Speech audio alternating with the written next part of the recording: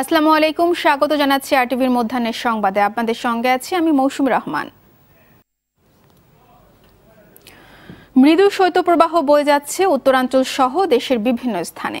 হিলিতে ঘন কুয়াশা আর ঠান্ডা বাতাসে দুর্ভোগ চরমে উঠেছে মানুষের। গাইবান্ধায় বৃষ্টির মতো কুয়াশা ঝরতে থাকে। জেলায় সুন্দরগঞ্জ সদর, ফুলছড়ি ও সাঘাটা উপজেলার আড়াইশো চরের নিম্ন আয়ের মানুষ বিপাকে আছেন। ঠান্ডায় বিপর্যস্ত কুড়িগ্রামের জনপদ। চুয়াডাঙ্গায় কুয়াশা না থাকলেও শীতের তীব্রতায় দুর্ভোগ বেড়েছে।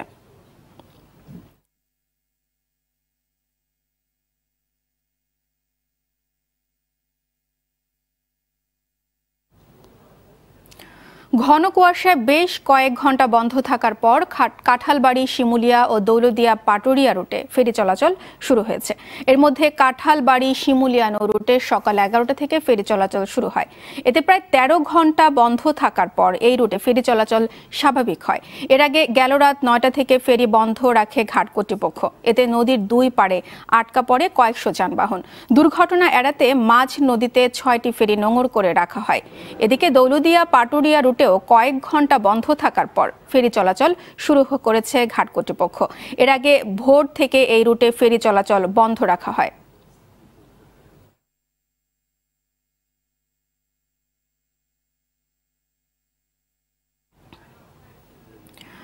বিদ্যুতের দাম বাড়ানো হলে সংকটে পড়বে নিম্ন ও মধ্যবিত্ত। আর ব্যবসায়ীরা বলছেন, গত অর্থ বছরে ধস নেমেছে তৈরি পোশাক সহ পুরো রপ্তানি খাতে। এর মধ্যে নতুন করে দাম বাড়ানো হলে শিল্প খাত আরও পিছিয়ে পড়বে। জ্বালানি বিশেষজ্ঞদের মতে, বিদ্যুৎ খাতে শৃঙ্খলা ফিরিয়ে আনার ব্যাপারে সরকার আন্তরিক হলে দাম বাড়ানোর দরকার হয় না। বিদ্যুৎ খাত নিয়ে সেলিম মালিকের ধারাবাহিক রিপোর্টের শেষ পর্ব আজ। ছবি তুলেছেন নাজমুল হোসেন সায়মন নিত্যপণ্যের বাজার অস্থির। সরকারি হিসাবেই চাল, পেঁয়াজ, তেল সহ বেড়েছে প্রায় সব ধরনের পণ্যের দাম। দামের জাতাকলে পিষ্ট হওয়া ভোক্তাদের এমনিতেই হাসফাস অবস্থা। এর মধ্যে নতুন দুঃসংবাদ, বাড়তে যাচ্ছে বিদ্যুতের দাম। তেইশ শতাংশ হারে দাম বাড়াতে বিইআরসির কাছে প্রস্তাব দিয়েছে বিদ্যুৎ কোম্পানিগুলো। ভোক্তারা বলছেন, এই মুহূর্তে বিদ্যুতের দাম বাড়ানো হলে তা হবে মরার উপর খাড়ার ঘা। সে বেতন পায় হয়তো পাঁচ হাজার বা ছয় হাজার টাকা। এখন তার যদি প্রতি মাসে এক হাজার টাকা বিদ্যুৎ বিলই আসে তাহলে বাদ বাকি মাসটা সে অন্য কীভাবে তার ই করবে? বিদ্যুৎ এটা ফিল করতে হলে আমার তেলের দিক থেকে বা আদার্স দিক থেকে একটু কনজাস্টেড করে আনতে হবে। দাম আমরা আমরা মনে করি নিম্নমুখী হওয়া উচিত সেখানে উদ্যমুখী হবে এটা আমরা আসলে প্রত্যাশা করি না। দুঃসময় যাচ্ছে শিল্প খাতেরও। সম্প্রতি বড় ধাক্কা খেয়েছে রপ্তানি বাণিজ্যে।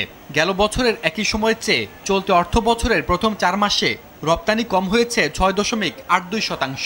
টাকার অঙ্কে যা আট হাজার কোটি টাকারও বেশি।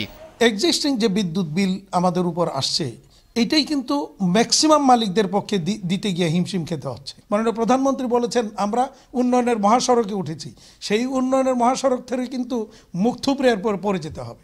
তো কোনোভাবেই বিদ্যুতের মূল্য আবারও বৃদ্ধি এটা মরার উপর খারার গা ছাড়া আর কিছুই নেই। একুশের একটা টার্গেট আছে দুই হাজার চল্লিশ একচল্লিশের একটা টার্গেট আছে। সেই টার্গেট বাস্তবায়নের জন্য অনেক সহজ হবে যদি আমরা এই কস্ট অফ প্রোডাকশনগুলি বা কস্ট অফ এই জিনিসগুলি কমিয়ে রাখতে পারি। ব্যবসায়ীদের কথায় সায় দিচ্ছেন অর্থনীতিবিদরাও। গার্মেন্ট খাত কিন্তু আমরা অলরেডি প্রতিযোগিতা পিছিয়ে গেছি আমরা বাজার হারাচ্ছি। সেই পরিবেশে যদি আবার দামটা বাড়িয়ে দেওয়া হয় তাহলে এটাকে পাসন করব কোথায় আমরা? আমরা তো ক্রেতার কাছে তো এটা পাসন করা যাবে না। তারা তো ভিয়েতনামে চলে যাবে, তারা তো চায়নাতে চলে যাবে, আবার ভারতে চলে যাবে। তাহলে আমাদের কি অবস্থা হবে? কাজে ইন্ডাস্ট্রির স্বার্থটাকে কিন্তু সরকারকে দেখতে হবে। জ্বালানি বিশেষজ্ঞদের মতে, অবৈধ সংযোগ বিচ্ছিন্নের পাশাপাশি চুরি ঠেকানো গেলে বিদ্যুৎ খাতে ফিরে আসবে শৃঙ্খলা। দাম বাড়ানোরও দরকার হবে না। সিস্টেম লসটা কমিয়ে এনে যদি বিদ্যুৎটাকে চুরির হাত থেকে রক্ষা করা যায় তাহলে বিদ্যুতের যে বাড়তি ভলিউমটা সেটা দাম কমানোর ক্ষেত্রে কিছুটা হলেও প্রভাব ফেলবে। ভোক্তা ও শিল্পের স্বার্থে বিদ্যুতের দাম বাড়ানোর প্রক্রিয়া থেকে সরকারকে ফিরে আসার আহ্বান জানিয়েছেন সব শ্রেণি পেশার মানুষ। Salim Malik R TV Dhaka.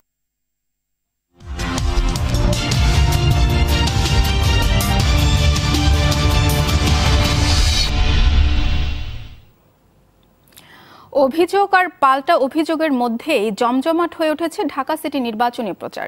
সকালে রাজধানী যাত্রাবাড়ি থেকে গণসংযোগ শুরু করেন আওয়ামী লীগের মনোনীত প্রার্থী শেখ ফজলে নুর তাপস। অন্যদিকে ধানমন্ডি থেকে নির্বাচনী প্রচার শুরু করেন বিএনপির ইশরাক হোসেন। দুই প্রার্থী দক্ষিণ ঢাকাকে আধুনিক নগরী হিসেবে গড়ে তোলার প্রতিশ্রুতি দিচ্ছেন।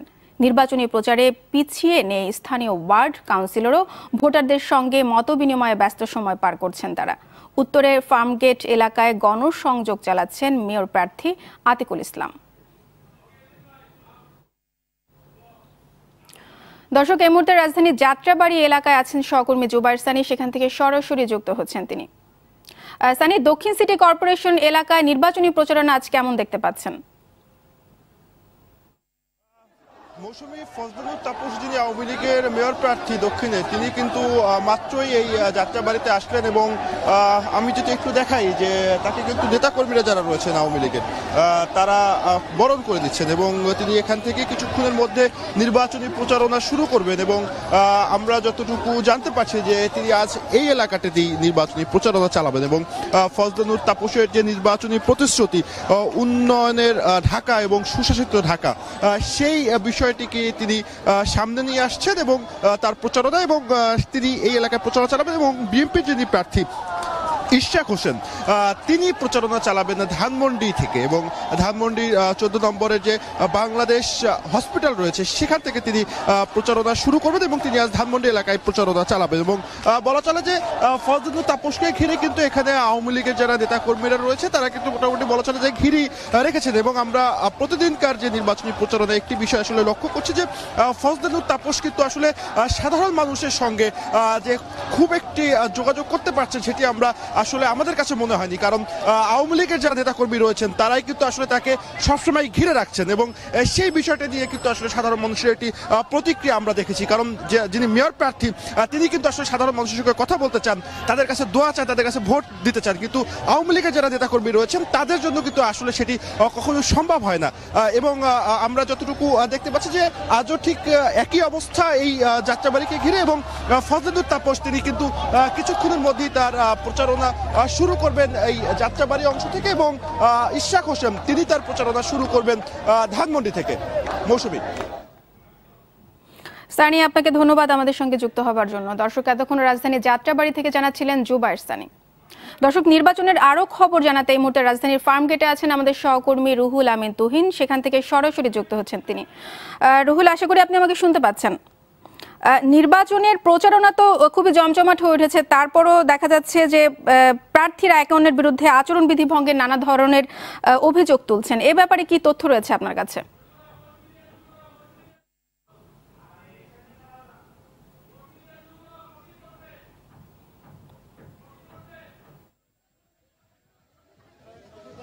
এই মুহূর্তে আমরা রয়েছি ফার্ম গেটে যেখান থেকে আজকে সকাল থেকে এই স্থানে ফার্মগেট আলরাজি হাসপাতালের সামনে থেকে ঢাকা উত্তর সিটি কর্পোরেশনের আওয়ামী লীগের মেয়র প্রার্থী আতিকুল ইসলাম, তিনি তার আজকের দিনের প্রচারের কাজ শুরু করেছেন। এবং প্রচারের কাজ শুরু করার শুরুতেই তিনি গণমাধ্যম কর্মীদের সাথে কথা বলেছেন এবং কথা বলার পরে ফার্ম গেট দিয়ে চার্চের সামনে এই স্থান দিয়ে তিনি তার আজকের কার্যক্রম শুরু করেছেন। তিনি এখানে যারা ভোটার রয়েছেন, জনগণ রয়েছেন, তাদের কাছে তিনি আগামী তিরিশ তারিখে যে নির্বাচনটি অনুষ্ঠিত হতে যাচ্ছে ঢাকার দুই সিটি কর্পোরেশনে সেখানে তিনি তার জন্য উত্তর সিটি কর্পোরেশনের জনগণের কাছে, ভোটারদের কাছে ভোট চাচ্ছেন। এখান থেকে তিনি তার এই কার্যক্রম পরিচালনা করে আহ, সামনে সামনের দিকে এগিয়ে যাবেন অর্থাৎ নাবিস্কো তেজগাঁ সাত রাস্তা এই সব এলাকার দিকে কিন্তু এই আমাদের ঢাকা উত্তরের যে মেয়র প্রার্থী তিনি এগিয়ে যাবেন আমরা তার কাছে জানতে চাইব আতিক ভাই আপনি জনগণকে কী সব প্রতিশ্রুতি দিচ্ছেন? আপনি তো নয় মাস কাজ করেছেন সেই অভিজ্ঞতা আমি আমি বলছি এই নয় মাসের এক্সপিরিয়েন্সটা আমি কাজে লাগাবো। নয় মাসে আমরা প্ল্যান করেছি যে সিটিতে কোন জায়গাটায় কীভাবে আমরা আমাদের ইন্টিগ্রেটেড ভেক্টর ম্যানেজমেন্ট করব মশার এগেনস্টে কীভাবে আমরা জলবদ্ধতা দূর করব? কীভাবে আমরা জনগণকে নাগরিক সেবা দিতে পারব অটোমেশনের মাধ্যমে? আমরা আমরা ট্যাক্স দিতে চাবো আমি জনগণকে। অবশ্যই ট্যাক্স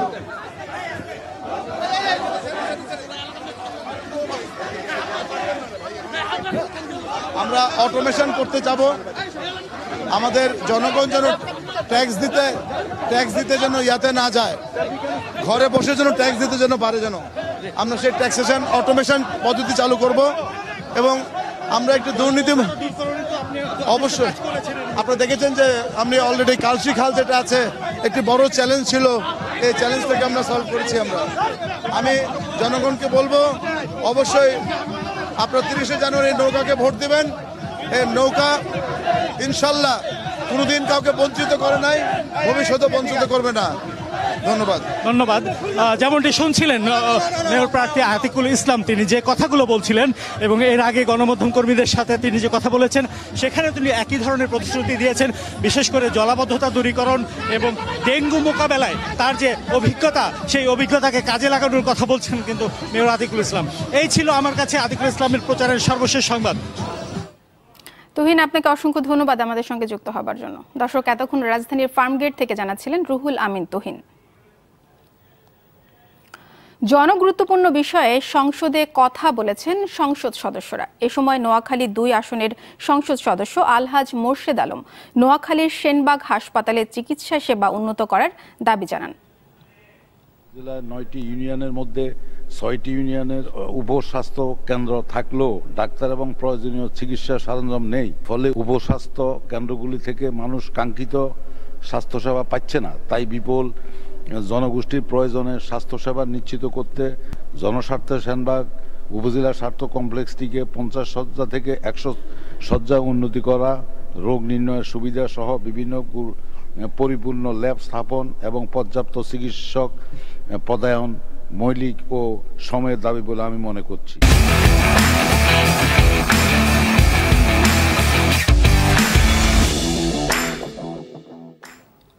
এবারে বঙ্গবন্ধু গোল্ড কাপের খবর। আজ মাঠে গড়াচ্ছে বঙ্গবন্ধু গোল্ড কাপ আন্তর্জাতিক ফুটবল টুর্নামেন্টের সপ্তম আসর।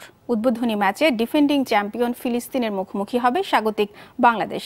বঙ্গবন্ধু জাতীয় স্টেডিয়ামে খেলাটি শুরু হবে বিকেল পাঁচটায়। প্রতিপক্ষ শক্তিশালী হলেও ভালো করতে আত্মবিশ্বাসী স্বাগতিক কোচ জেমিডে। অরুণ গফুরের রিপোর্ট।